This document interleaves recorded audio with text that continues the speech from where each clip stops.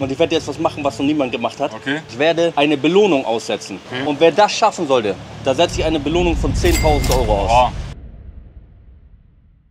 Und schön, dass ihr am Start seid. Heute mit einem etwas anderen Intro mit Sami zusammen. Genau. Wir haben hier, schaut euch das an, ich zeige euch das mal direkt. Das ist ein ganz besonderer Döner, den ich euch heute zeige in Soltau. Das blende ich gleich nochmal einzeln ein. Und ich werde den ersten hier mal selber eben einmal draufstecken, Sami. Sehr gut. Das ist ein ganz besonderer Döner mit einem Wagyu-Anteil. Wagyu-Anteil, wir haben Kalb, wir haben normales Fersenfleisch, wir haben Dreiermix. Nur Wagyu wäre nicht rechenbar, ne? dann kostet Döner zum Schluss 25 Euro, das will Genau. keiner. Ja, und den will ich euch heute vorstellen. Ich bin sehr gespannt, ey. Also Sehr gut. Fleischqualität ist das A und O beim Döner. Wenn Genau. das stimmt, dann geht alles. Du kannst mit Brot und allen noch versauen und auch das Fleisch kann trotzdem was Falsches sein und Ja. falsch zusammengesteckt. Falscher Fettanteil, aber Potenzial ist hoch. Genau. Und du erzählst uns gleich selber was, ich übernehme die Kamera. Für euch noch mal ganz kurz hier, der gute alte Holle wieder aus der Hand. Einmal hier noch mal das Fleisch ganz nah.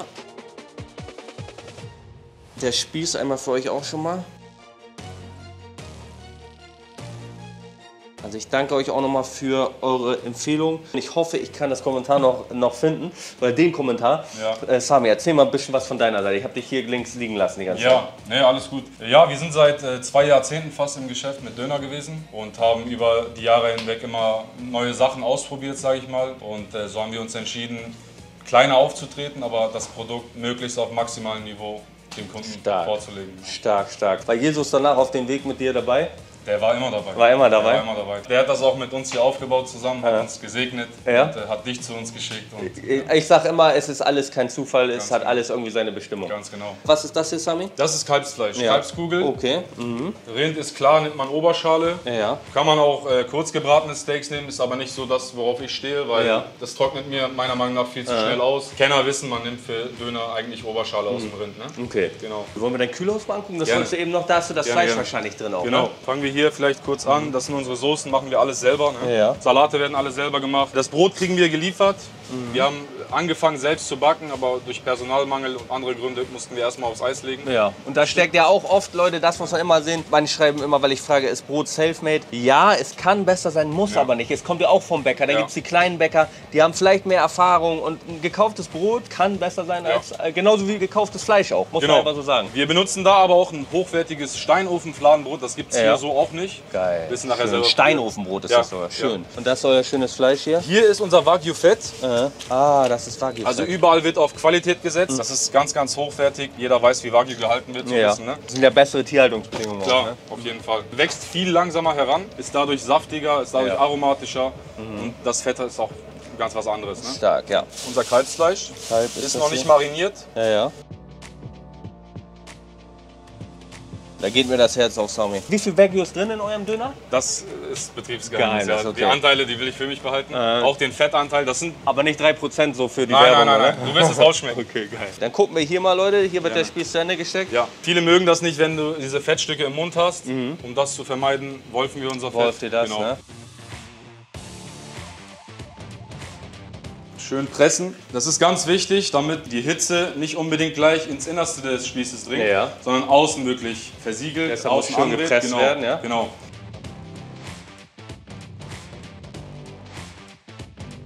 Ich habe mal gezählt, das sind über 100 Schichten bei meinen Spießen. Es gibt auch noch höhere Spieße. Wie viel kostet dein Döner? Vielleicht schon mal an der Stelle? Mein Döner kostet 97. Ist trotzdem 97 Ja. kriegst du hin. Ja. Stark für die Quali. Aber da bleibt auch kaum was hängen, sei ehrlich. Äh, ich bin ehrlich, wenn wir nur Döner verkaufen würden, würde kaum was hängen bleiben. Ja. Wir haben viele Nebenprodukte und wir sind dankbar, dass auch die gut verkauft werden. Ja. Und äh, so an Döner an sich, da bleibt nicht viel über. Ne? Fast 150 Gramm Fleisch Mhm. pro Döner plus 35, 40 Prozent im Rohbereich rechnen. Bratverlust, ne? Bratverlust, genau. Einige kennen sich natürlich mit den Preisen nicht aus und äh, Mhm. für die ist das dann manchmal zu viel, aber das ist, Leute, das ist wirklich sehr, sehr fair kalkuliert. Hundertprozentig. Man muss auch sagen, äh, fair wäre in dem Bereich auch, wenn man jetzt keine anderen Nebenprodukte hat, da wäre sogar, muss ich sagen, bei der Qualität ein Zehner wäre gerecht. Wäre fair. Ja. Aber die Leute Ja. sind noch nicht so weit. Nee, die Leute sind noch nicht Durch so weit. deine Arbeit, Ja. muss ich sagen, werden die Leute auch aufgeklärt, was Ja. das betrifft. Und das hat schon viel in Bewegung gesetzt. Ne? Wenn wir auch wollen, dass gutes Fleisch ankommt, auch unter besseren Tierhaltungsbedingungen. Genau. Müssen wir bereit sein, Zähne auszugeben. Und da kann ja jeder dann für sich selber wissen, habe ich das Geld oder möchte ich es ausgeben? Ist jedem selbst überlassen. Freue ich mich auch immer mit euch in den Kommentaren zu diskutieren, aber die Gastronomen können nichts dafür, wenn sie so einen Döner für einen Zehner anbieten. Ja. Oder sie schrauben an der Qualität runter. Ganz genau. Und habt ihr manchmal das Problem oder das Gefühl, wenn der Spieß länger hängt zum Schluss, dass er da trockener ist als am Anfang? Das kann man nicht immer vermeiden. Mhm. Deswegen rate ich da auch meinen Kunden, äh, mittags verzichtet, Leute verzichtet Ja. auf die Soßen, schmeckt das Fleisch raus. Ne? Ja. Da ist absolut keine Soße notwendig. Mhm. Das Fett, die Gewürze und äh, der Fleischsaft, das verbindet sich alles und das ist an sich schon Soße. Ja. Aber treffe immer wieder Leute, die wollen trotzdem die Soßen haben. Ja, klar. Die haben wir deswegen auch drin gelassen. Äh, Und das ist auch interessant, Leute, dass man weiß, denn zum Ende, hin, wenn man jemand ist, der tatsächlich mal gerne ohne Soße ist, mal mit. Genau. Zum Abend hin eher mit, vorher geht ohne. Das ist, äh, das, die Erkenntnis habe ich auch spät erst getroffen. Dann bin ich auch zu Dönerläden abends gegangen, habe ohne Soße genommen, habe mich gefragt, warum es trockener ist. Ja. Das ist ein logisches Ding, wenn- vor allem wenn du ohne Zusatzstoff arbeitest, so wie ihr. Das wollte ich gerade sagen. Also wir haben, wir haben gar keine Bindemittel, gar nichts drin. Es ist Eben. Natur. Phosphat wird das ja nochmal Genau. anders aussehen lassen. Damit kannst du alles verkleben und verbinden, aber darauf verzichten wir und äh, stocken dann halt mit den Soßen am Abend nochmal auf. ne? Ja. Und dann wird nochmal der Feinschnitt gemacht. Das habe ich ja davor auch schon, das siehst du hier. Ja. Den Rest, den wolf ich Ja. und tu oben drauf. Ah, Hast du stark. vielleicht bei Tombol schon mal gesehen? Ja, Tommel macht's auch so.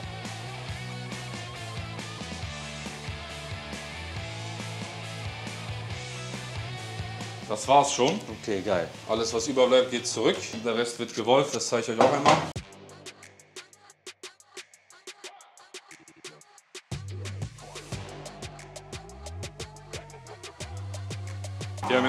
Wagyu-Stück. Oh. Das sind so Stücke, die kann ich natürlich nicht in den Spieß anarbeiten. ja, Die haue ich mir dann auch mit rein, ne? Ja. Stark. Also wirklich, das Hackfleisch an sich ist auch schon Sehr gute Qualität, ne? Premium-Variante, ja. Das war's. Das wird dann noch einmal zu einem Ball geformt.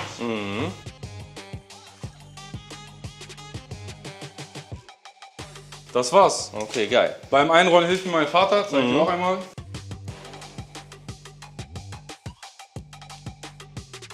Das war's. Okay, geil. Hier komme ich jetzt raus und guck mal, da drüben ist schon der Foodtruck. Jetzt wird der hier rüber kutschiert.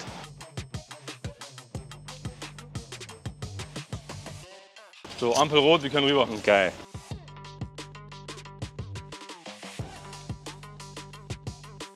Ist auch nicht ganz ungefährlich immer, ne? Glaube ich. Wenn der mal 100 Kilo wiegt irgendwann, Genau. den braucht den Gerät, um das Ja, rüber zu ja, tragen. auf jeden Fall.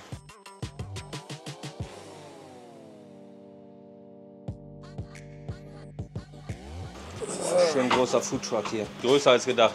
Ja, das ist ein extra großer, von der Breite auch besonders, dass man sich frei bewegen kann. Ja, sonst sind die immer sehr eng.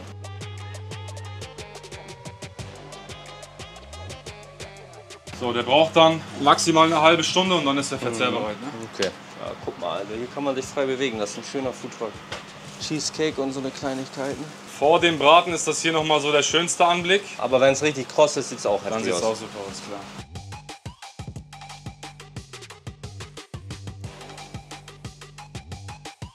Ist ja mit Kurkuma hier das Der ist mit? Kurkuma, ja. Mit Kurkuma, Ja. krass, stark, stark. Sehr gesund.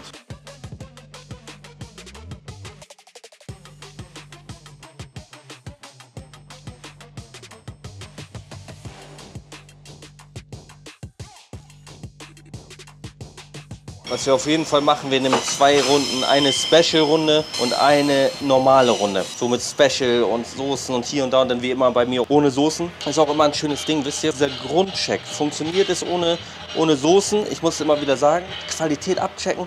Danach kann alles passieren. Mit Soßen, alles super. Qualität abgecheckt, dann kann es nur besser werden. Was heißt, kann es nur besser werden? Das nicht, aber Soßen können natürlich auch immer ein Upgrade sein. So, von außen auch, ihr Lieben. Da ist er von außen. Direkt an der Straße.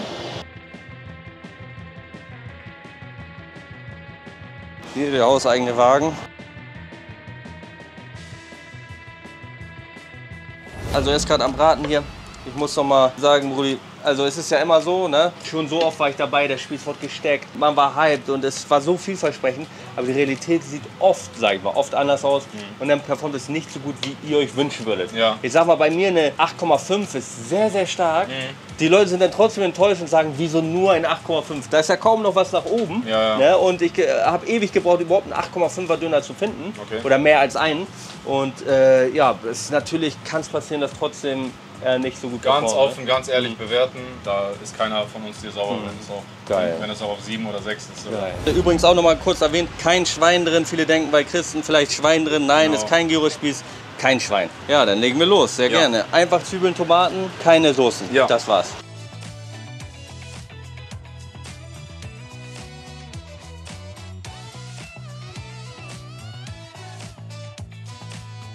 Die zweite Schicht, Leute. Wie gesagt, die, eine der besten Schichten jetzt hier. Genau. Sausaftig. Guck mal, kannst hier noch mal so ein bisschen draufdrücken. Guck mal, wie das rausläuft, dann Saft. Oh.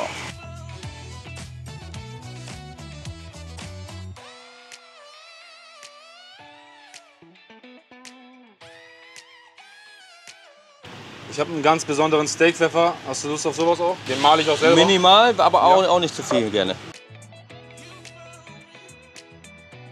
Ist auch ein ganz besonderer, den malen wir selber. Ja, Sonst würde ich sagen, lassen wir so stehen. lassen wir so stehen, genau.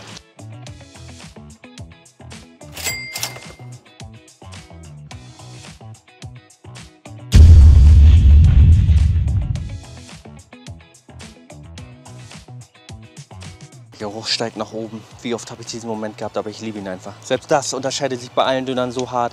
Bei manchen ist es einfach oh, die Gewürze, die aufsteigen. Bei manchen die Soße, bei manchen das Brot. Und hier ist so ein hartes Grillfeeling. Grillfeeling wie einfach vom Grill ganz normal geröstetes Fleisch.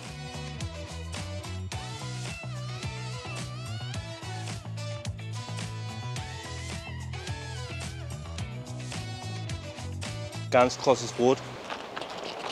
Ultra kross, erster Biss Tomate.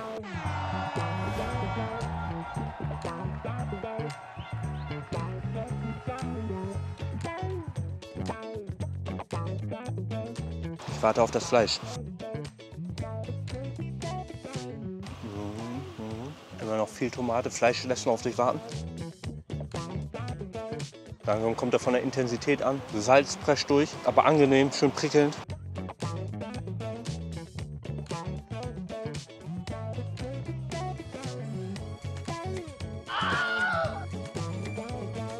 Ich warte auf das Fleisch, Leute, vom Geschmack. Ich warte auf das Fleisch. Ich habe bis jetzt noch keinen Fleischgeschmack gehabt.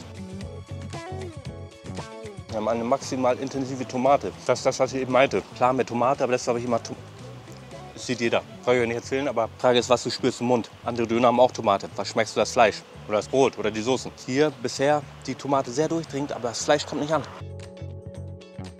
Jetzt. Hier unten ist King, Leute. Hier unten ist King. Du merkst, es ist Fett, was hier gerade den Kick gibt, nicht das Fleisch. Das ist ein ganz durchdringender, herber, schöner, tiefer Fettgeschmack. Geht langsam rein, wird intensiver, richtig steakartig. Schöne Größe auch vom Döner. Kein Kamerabonus. Also fassen wir zusammen. Weicher Biss, geschmeidig, richtig weich, zart. Fleischgeschmack eher im Hintergrund. Fettgeschmack, Peitsch nach vorne, bringt den Döner nach vorne, macht ihn zu dem, was er ist. Ein sehr guter Döner. Brot auch anders. Auf gewisse Weise ein Wiedererkennungsfaktor von anderen Broten, aber irgendwo schon seinen eigenen Charakter, aber sehr passend zum Döner. Sollte jetzt nichts mehr passieren, sehen wir uns bei dem zweiten Döner mit den Special-Soßen, Special-Salat. Manchmal sind es die Döner, die dadurch trumpfen. Der trumpft auch so, aber vielleicht halt noch mal einen ordentlichen Kick nach vorne kriegen. Jetzt kommt der Fleischgeschmack, ganz nebenbei nur. Da kommt noch ein Überraschungsgast von hinten heraus. Sehr gut. Also die sehr starker Döner. Habe ich gesagt, sehr starker Döner. Danke dir. Ich muss gleich noch überlegen, Bewertung. Ein sehr einzigartiger Fettgeschmack. Der kam etwas später als gedacht. Schön durchdringend, herb, geiler Fettgeschmack. Mhm. Sehr gut, ja, also sehr geschmeidiger, dezenterer Döner als ich dachte, aber hat absolut seinen Charme und super geiler Mhm. Döner. gut. Wir werden gleich die andere Variante noch versuchen. Ja. Ich habe mir gerade ein Special überlegt für die Zuschauer, Ja. weil ich merke gerade, wie ich im Game bin. Ich bin so heiß wie noch nie, die besten Döner zu finden. Es bringt mir so Spaß. Denkt nicht, Holle schläft. Die Mission wird niemals enden. Und ich werde jetzt was machen, was noch niemand gemacht hat. Okay, ich bin gespannt. Ich werde eine Belohnung aussetzen. Okay. Für den da draußen von euch, der mir den besten Döner Deutschlands bzw. inklusive Österreich, Schweiz, Luxemburg, egal was, Kern es ist ein besserer Döner als den von Fair zu finden. Okay. Und wer das schaffen sollte, Da setze ich eine Belohnung von 10.000 Euro aus. Boah, ja. ihr habt es gehört, Leute, ne? 10.000 Euro. Weil ich will einfach, ich, will- ich habe dich fast hängen lassen. Ich weiß, es ist möglich, ich weiß, es wird passieren. Ich liebe Ferhat, aber Ferhat, deine Zeit muss bald vorbei sein. Kuss geht raus. Wenn ihr eure Empfehlungen habt, sonst was, schreibt es in die Kommentare. Schreibt was Geiles, damit ich auch check, dass es Potenzial hat. Bei was richtig Geilen, potenziell Geilen, fahre ich hin und wir rocken das. Sehr gut. Okay, Kuss, dann geht's jetzt weiter mit Runde 2.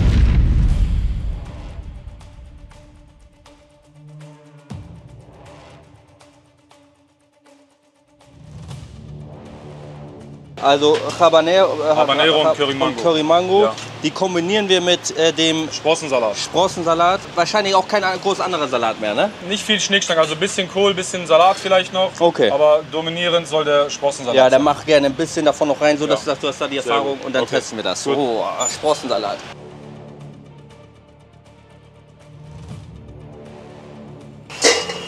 Ja, wir brauchen ein paar Runden, bis der schön Form annimmt nochmal. Ja, jetzt sieht man noch mehr die eigenen Schichten sogar, ne? Genau.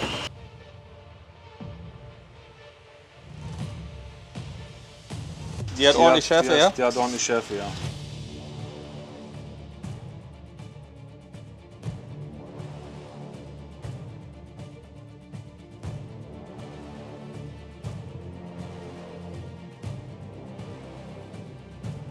Geil. Dann bringst du mir den noch raus? Ja. Perfekt. Danke, danke. Und dann sage ich, gebe ich gleich Feedback wieder.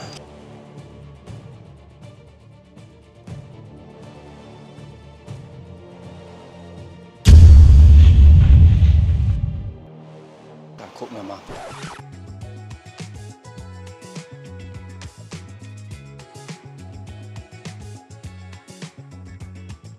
Soße kommt direkt, aber sehr geil. Ich dachte, übernimmt komplett, aber gibt echt nur so einen gewissen Zeitkrieg. Am Anfang, wenn du jetzt nicht wüsst, was für eine Soße ist, weißt du sogar nicht genau was. Du merkst die Soße, hätte vielleicht auch Fleischmarinade sein können, im ersten Biss zumindest.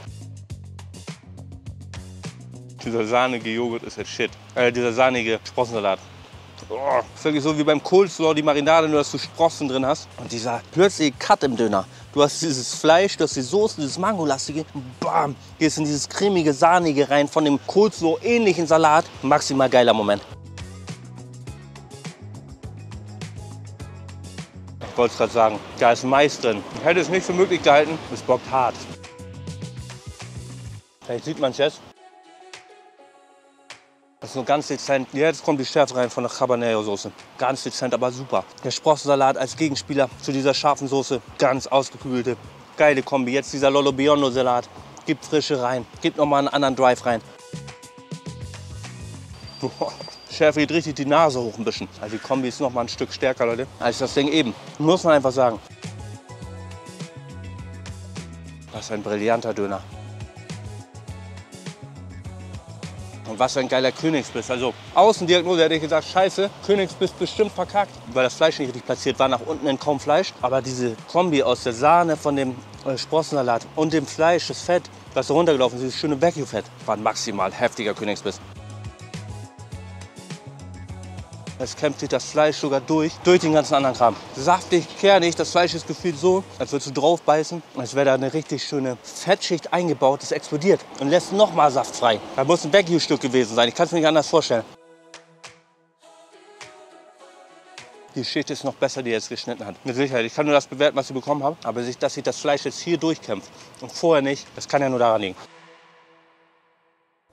Maul brennt, aber angenehm, Leute. Was für ein Zufall. Jetzt muss ich nicht mal das, den Kommentar einblenden. Der Mann, der uns den Tipp gegeben hat, ist hier zufällig. grüß dich. Ja, moin, genau, grüß dich, mein. Lieber. Moin, hi, du hast moin. das Kommentar geschrieben, auf dass ich ganz hier genau, bin, ne? Ganz genau. Geil, geil. Bester Dönerladen hier im Heidekreis. Schön, dass du hier bist. Ja, bester Döner am Heidekreis ist schön gesagt. Ja, das, Ist, er, das ist er definitiv. Also jeder, der nicht glaubt, kann gern vorbeikommen, sich überzeugen, aber das ist ein Knaller. Total. Ist gut, ja? Bist du Äh, zufrieden? Ich bin sehr zufrieden. Und jetzt werde ich den Jungs gleich Feedback geben. Ja? Muss man überlegen wegen. Bewertung. Ja. ja, aber das ist dann spätestens im Video. Ich muss mir den. Klick sparen. Ja, ich freue mich. Super, alles klar. Geil, danke Zeit dir. noch, ne? guten Hunger. Ciao, ciao.